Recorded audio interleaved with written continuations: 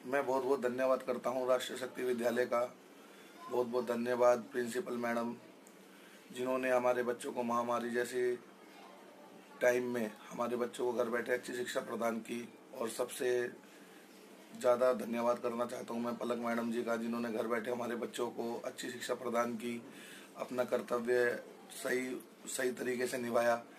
और मैं दिल से उनका धन्यवाद करना चाहता हूँ कि मेरे को खुशी है कि आने वाले समय में जब हमारे बच्चे स्कूल ज्वाइन करेंगे, कितना मतलब घर बैठे उन्होंने अपने हमारे बच्चों को इतनी अच्छी शिक्षा दी है। आज ये सोचता हूँ कि जिस दिन वो स्कूल ज्वाइन करेंगे, पलक मैडम से वो पढ़ाई करेंगे तो उनका फ्यूचर ब्राइट है। जिन्होंने घर बैठे इतनी अच्छी शिक्षा प्रदान करी है। तो सोचता हूँ कि जिस दिन स्कूल जाएँगे, इससे ज़्यादा अच्छा रिज़ल्ट आएगा और इससे ज़्यादा अच्छा इम्प्रूवमेंट होगा हमारे बच्चों में। मैं बहुत बहुत धन्यवाद करता हूँ पुलक मैडम आपका। धन्यवाद।